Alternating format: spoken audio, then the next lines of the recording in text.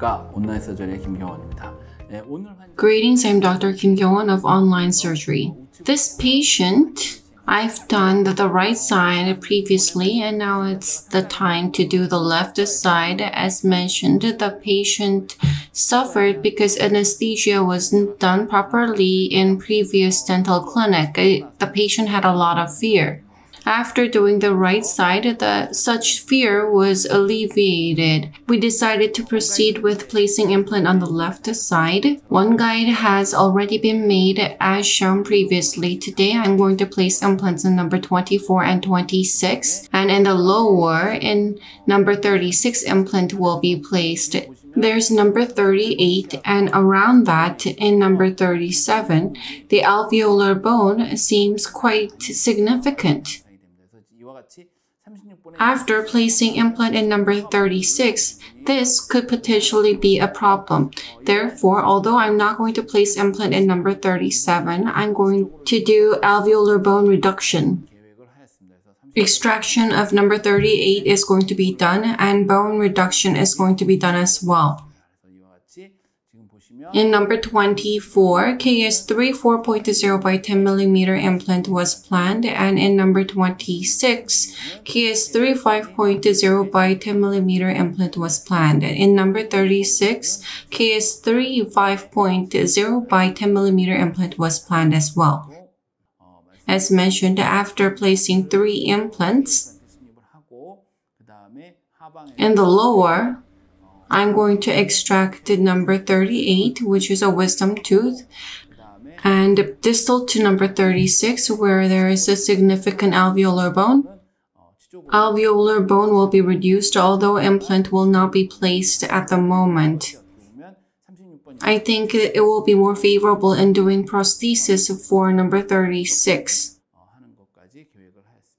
This is immediate post-op image. Number 24 and 26 implants are placed and implant has been placed in number 36 and alveolar bone has been reduced in number 37.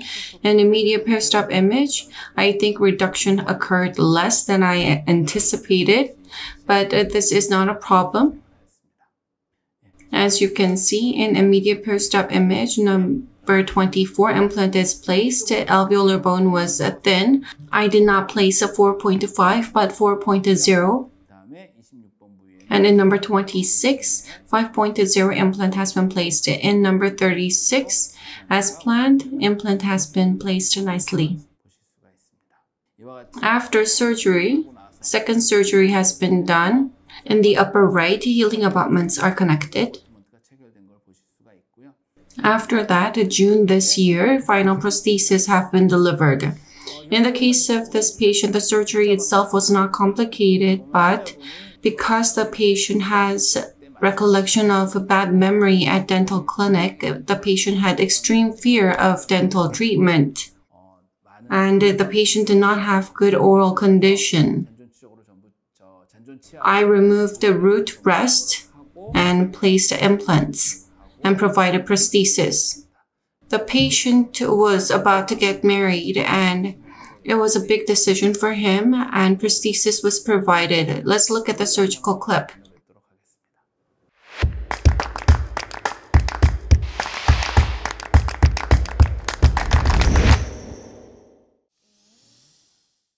I'm going to place implants on the left side one guide template has been adapted previously. It fits nicely. I'm checking once again. One guide, it's good.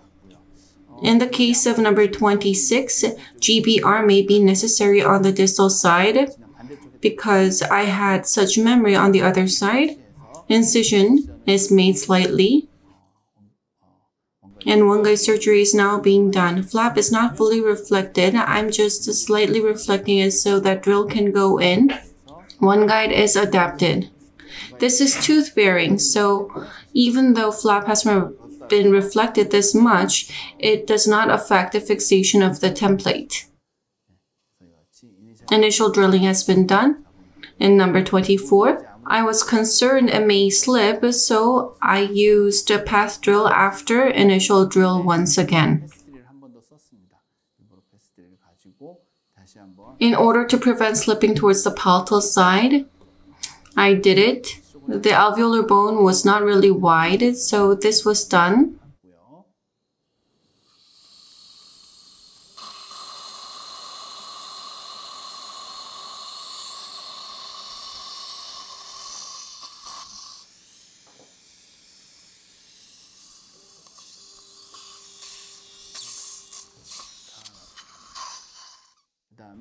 KS3 BA 4.0 by 10 millimeter implant was placed after irrigating sufficiently using saline. It's placed 80% with engine.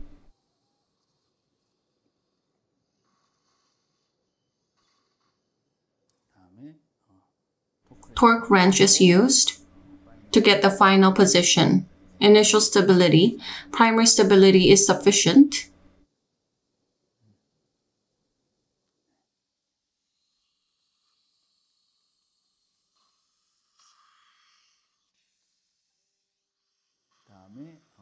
And number 26, why the type initial drilling is done.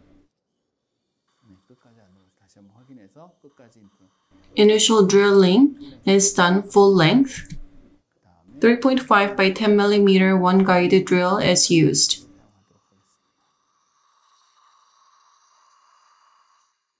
Three point five by ten millimeter one guided drilling is done. It's the upper and the bone quality does not look really good. 4.5 by 10 millimeter one guide drill will be used. If you look at how much alveolar bone comes off, you can anticipate the bone quality. I'm not going to do full length using this 5.0 drilling I do under drilling like 2 millimeters, 5.0 by 10 millimeter KS3 implant is placed after irrigating it with saline.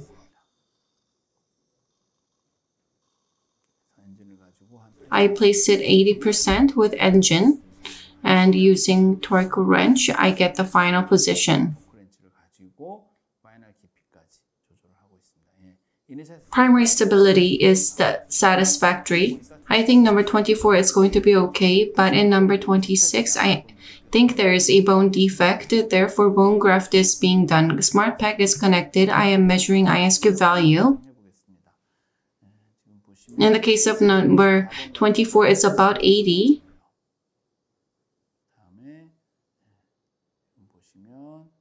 In the case of number 26, it's about 77. Healing abutment is connected in number 26 and on the distal side, AOS is used for bone graft.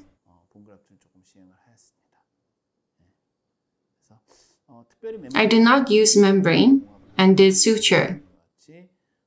Healing abutment is connected and I'm now suturing the upper.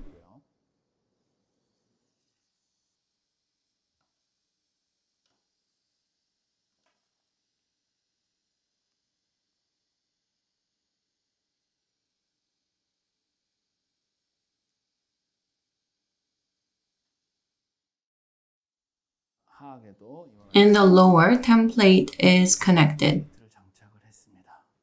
In the lower, the template is adapted because number 8, there's residual tooth. After extraction, I need to do bone reduction on number 37, so I'm reflecting a little bit of flap.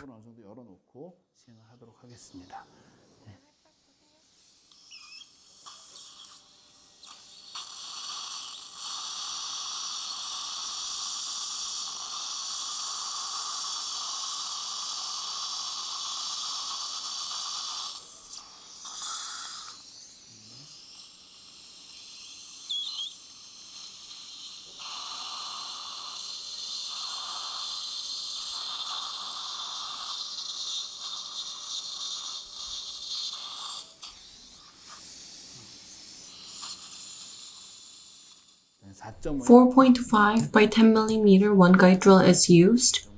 Because the bone is hard, I've experienced on the other side, that's why I've done this. 5.0 by 10 millimeter one guide drill is used to full length. On the other side, I've used a cortical bone, so I've suspected that it will be hard here. Full length drilling is done, and after that, 5.0 by 10 millimeter implant is irrigated using saline and it is being placed.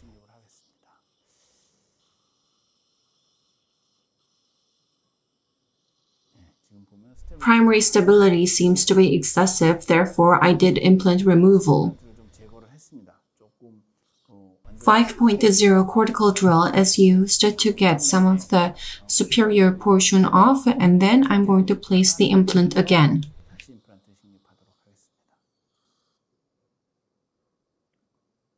I'm using a new implant. I'm irrigating it with saline BA 5.0 by 10 millimeter implant is being placed.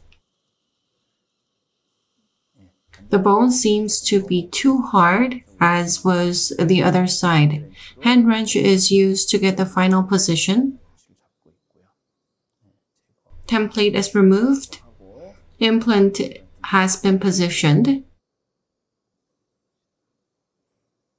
Smart peg is connected. ISQ value is being measured. ISQ value is 8184.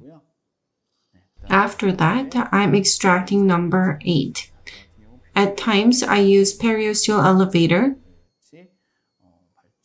Extraction has been done. As I've shown you earlier, in the case of number 37, the alveolar bone peak is quite significant. So even though I'm going to perhaps place the implant later, I'm going to use the crest remover to trim the alveolar bone. I am paying attention not to damage the implant. Next to it, crest remover is used to reduce the alveolar bone so we can provide favorable prosthesis in number 36 as well.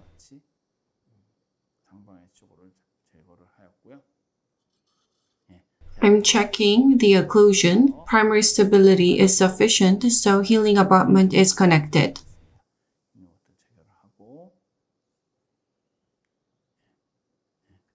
Suturing is done.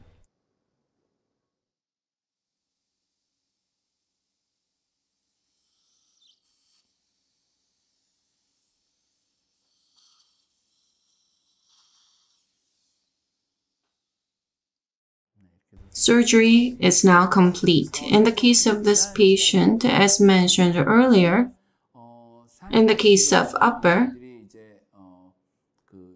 the bone quality was not favorable because it was upper posterior. 5.0 implant was placed. The drilling was done up to 4.5 and 5.0 final drilling was not done full length about 3 millimeters or so under drilling was done. In the case of lower, full length drilling of 5.0 was done. It was the same with the other side as implant went in. Excessive torque occurred, therefore implant was removed. 5.0 cortical drill was used to remove the superior alveolar bone and implant was placed again. In conclusion, good primary stability was gained in the case of lower. In number 37, the alveolar bone was excessive and it could potentially be a problem for providing prosthesis, so alveolar bone was reduced using crest remover. Thank you for watching.